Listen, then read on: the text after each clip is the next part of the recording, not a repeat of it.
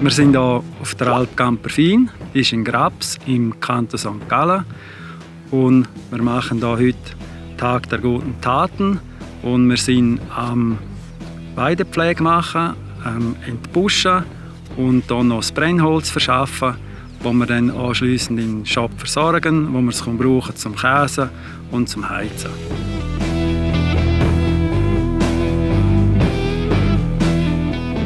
auf der Alp von der Familie Tischhauser können wir etwas Gutes leisten für die Natur und für die Alpwirtschaft. Bei diesem schönen Wetter gibt es immer etwas zu tun und es ist urlässig, dass wir das zusammen machen als Team.